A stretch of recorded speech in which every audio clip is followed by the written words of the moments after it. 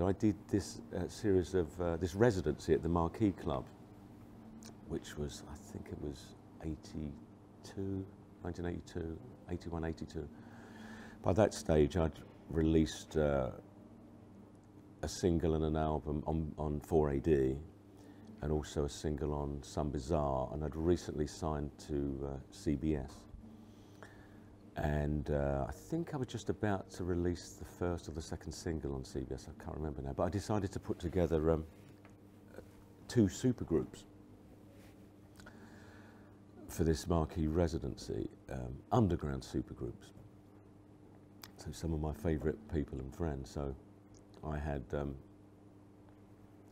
J.G. Thirlwell, Foetus, played. I had Thomas, Kid Montana from Belgium, Marc Almond, Zeke Manyika from Orange Juice.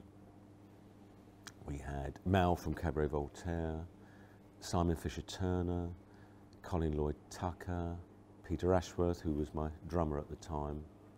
Um, I think Edwyn Collins may have stood in as well, actually. And I divided the groups up into uh, aggressive and mellow, I believe, initially, you know, for large parts of the set. And so I think obviously Foetus was in the aggressive one.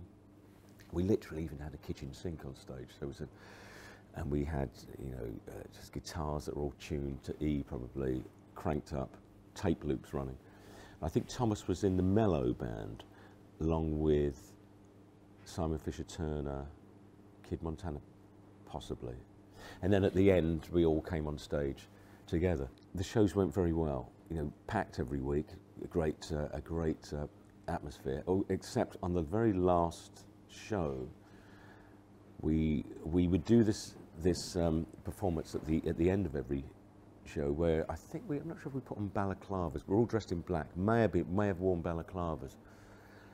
Nine or ten of us playing guitar in a row at the front, hammering away, and we would do that after every every show. But on the last show, some idiots in the audience started to throw glasses at us and stuff, and this, a big fight ensued between us and the. Um, we started fighting with the wrong people because we, it transpired that the it was people at the back of the audience throwing, but the lights were in their face, so we couldn't see.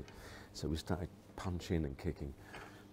But everyone ran off, and there was only two people left fighting beside me in the audience people are often surprised to find out who they were. Well, they're not surprised about the first one. It's Jim Thirlwell was there. The second one was Marc Almond. Ferocious. Tom ran off with the rest of them. And Marc, uh, very impressed, he took his guitar was like swinging it, and it was awful, really, because backstage afterwards, a guy came back, like blood pouring from his head. And Marc was so apologetic because he had a, he had a terrible temper and was like profusely uh, apologetic. But that was a lingering memory, and it was a shame, really, because we had a fight with the, the wrong people. And then we found out there were some idiots at the back. But it was very dramatic, those shows, and it was great fun.